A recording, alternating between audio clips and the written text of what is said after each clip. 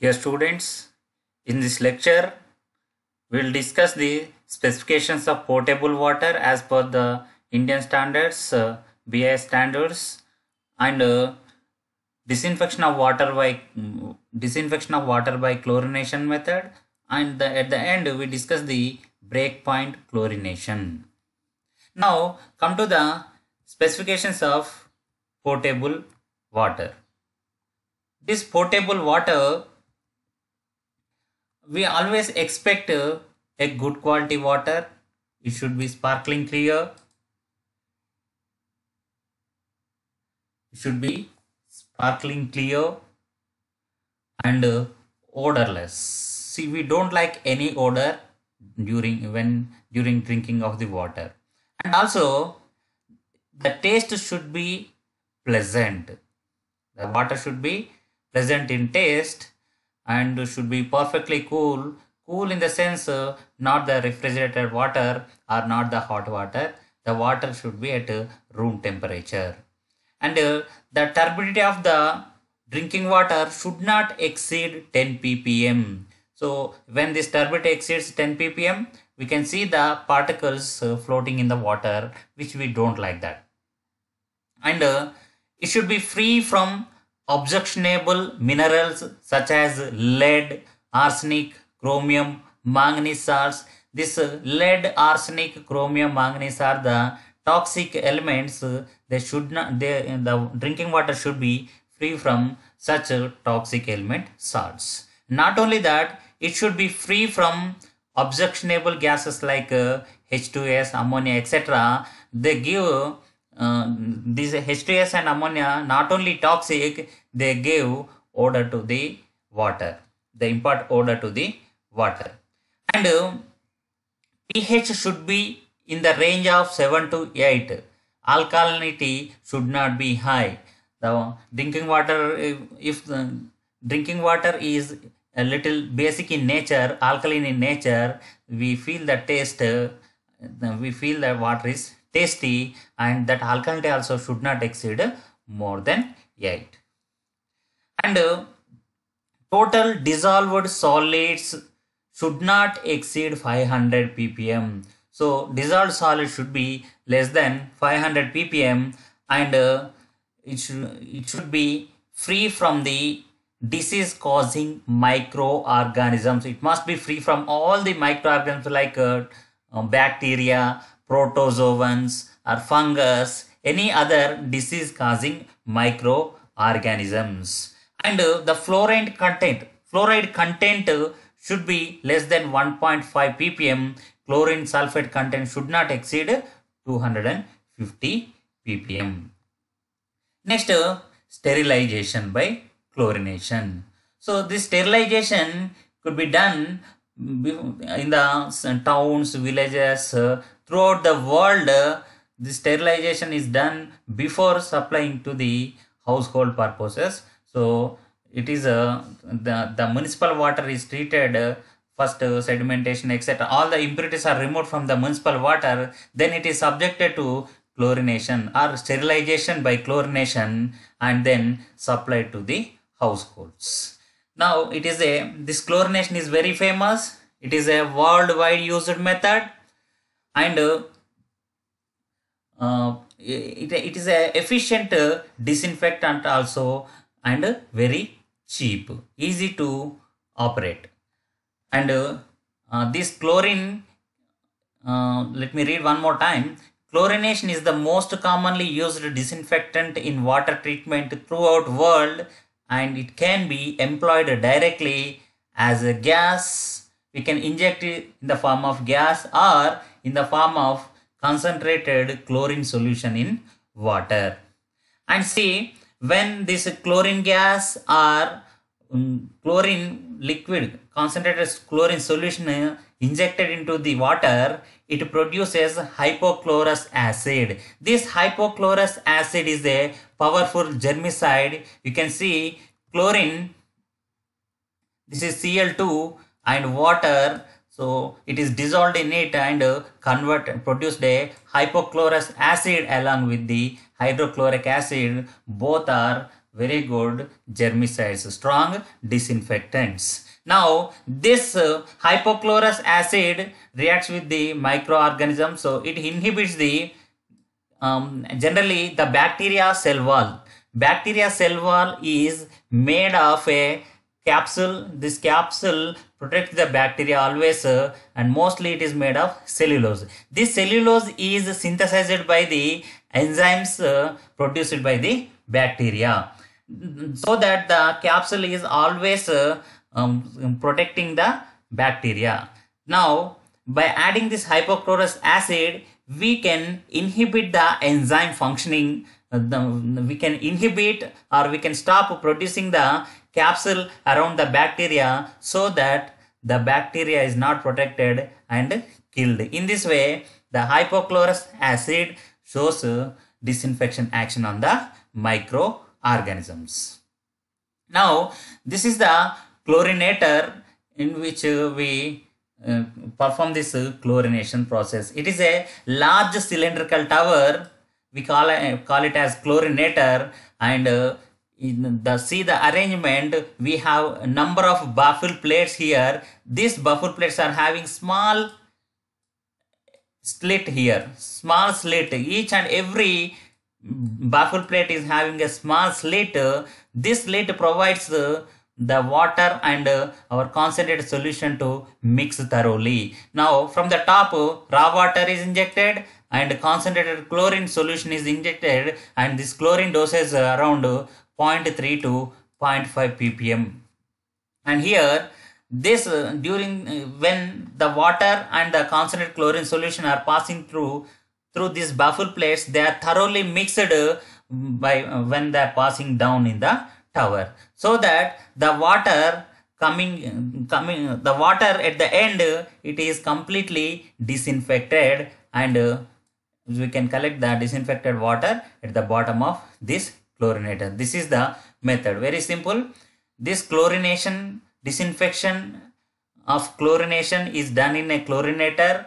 This chlorinator is a long cylindrical tower in which we have number of baffle plates. These baffle plates are having small uh, exits. These exits are slits um, um, makes uh, water and chlorine to mix thoroughly so that the disinfection action is, is uh, taking place uh, very efficiently in the water. Now, the factors which are affecting efficiency of the chlorine in this disinfection action. The first one, temperature of the water. The rate of reaction with enzymes increases with the temperature. Consequently, death rate of microorganisms by chlorine increases with rising temperature. See here, uh, the when uh, enzymes uh, are uh, reacting more with the hypochlorous acid when the temperature is increasing. So when this chemical reaction occurs more fast then they are more uh, uh, inhibited enzymes are inhibited so that the death rate of the microorganisms uh, by chlorine also increases. Next time of contact. Time of contact death rate of microorganisms by chlorine is proportional to the number of microorganisms remaining alive. Initially the death rate is maximum and with time it goes on decrease because in the beginning we have the number of microorganisms more. As the time of contact is increasing the microorganisms are uh, killed so uh, and their number is decreasing so that the death rate uh, also decreases with the time so uh, the in the beginning very high death rate and uh, slowly it is going to be down next uh, ph of the water generally acidic pH. So the pH between 5 to 6.5 are most preferred since we are using hypochlorous acid we need to maintain the lower pH values. So small contact is required in this acidic uh, pH. Next uh, the advantage of chlorine. The main advantage is it is uh, very effective and economical. It is a cheaper method and uh, effective method. It is not only that the chlorine is more stable. It is a more stable so liquid and we can store in a small space. It requires a small space for storage and does not deteriorate on keeping. So it is more stable. And another advantage, it can be used at high as well as low temperatures. Next, and it never introduce any impurities into the water. So this is these are the advantages that is the reason this chlorine acts as a most ideal disinfectant. disinfectant. So more economical, effective, most ideal disinfectant is the chlorine or chlorination method. Now we have disadvantages also. The main disadvantage if excess of chlorine is present, it produces bad taste and disagreeable odor. Not only that, it produces irritation on mucous membrane. Mucous membrane is uh, so get deteriorated or damaged or we may feel irritation due to the excess chlorine present in the water. Next, the quantity of free chlorine in treated water should not exceed 0.1 to 0.2 ppm. We need to take care of it. We have to maintain less than 0.2 ppm.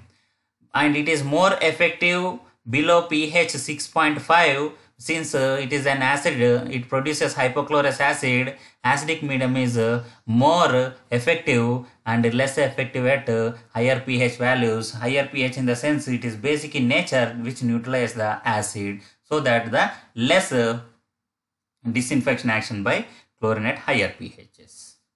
So these are the disadvantages. To overcome these disadvantages, we have one more technique which is called breakpoint chlorination. Breakpoint chlorination. In this method, the chlorine is added in dosages. The chlorine is added in dosages. So turn by turn, all the uh, impurities like living organisms, uh, organic impurities or reducing matter, all, all the other substances are completely destroyed by this method. So breakpoint chlorination means that chlorination of water to such an extent that living organisms as well as other organic impurities in water are destroyed.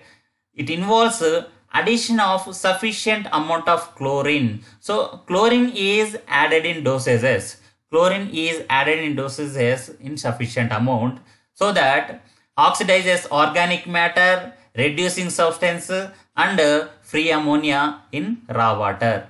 So each dose, so first dose may destroy the oxidizing agents or oxidizing matter, oxidizing, mm, sorry, first dosage may oxidize the organic matter and the next dose may reduce, remove the reducing substance in that way turn by turn. So as the dose is increasing, the, these substances are destroyed. Next, uh, leaving behind mainly free chlorine which possesses disinfecting action against pathogenic bacteria. Here, whatever the excess dose added to the water, so that is the free chlorine remain in the water.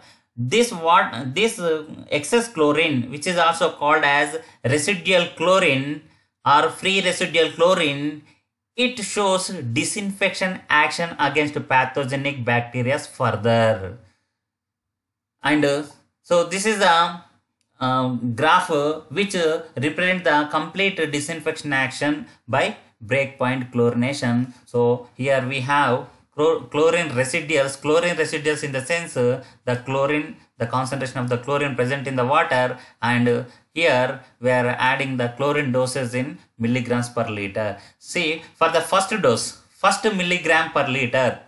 So it destroys, destroys all the residual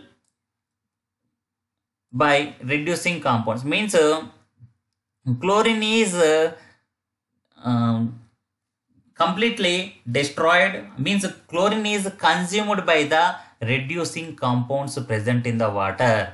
So the reducing substance is com the reducing matter present in the water is completely destroyed and uh, that is the reason and the chlorine is completely consumed over here with this dose and uh, we don't find any chlorine concentration. That is the reason the chlorine residual is zero here. And when we go for the next dosage about 2 3 4 5 you can see the dosage is added now it increases the concentration of the chlorine in the form of combined residuals. Combined residuals in the sense whatever the chlorine dose we are adding to the water, it combines with the organic matter which forms chloroorganic compounds and also combines with the amines or ammonia to form the chloroamines. And uh, the next dosage of water, the next dose uh, of the dosage of chlorine destroys all these combined chloroorganic and chloroamino compounds so that it falls down. It is the chlorine concentration or free residual concentration reaches minima. This point is called as break point. And the next dosage of chlorine increases the free residual concentration because the chlorine is remain in the water and which will be showing pathogenic action in the future. Next, advantage of this um, chlorine. So, um, advantage of this breakpoint chlorination, we can overcome the disadvantages uh, which are there in uh, which are there in chlorination method. The first one, it ensures complete destruction of organic matter which impart color, bad odor and unpleasant taste to water. Earlier in disadvantages of the chlorination, we have discussed that the excess chlorine causes uh, bad smell, odor or uh, causes irritation on the mucus layer. Such a disadvantage we can avoid in this method. It ensures complete destruction of organic matter which impart color, bad odor and unpleasant taste to water and it completes, completely destroys all the diseasing causing bacteria all the disease causing bacteria, organic matter. So all the organic matter that is disease causing bacteria is completely destroyed by this method and it prevents the growth of any weeds in water. It destroys the growth of any weeds in water so that water is uh, pure and uh, we don't find any contamination in the water.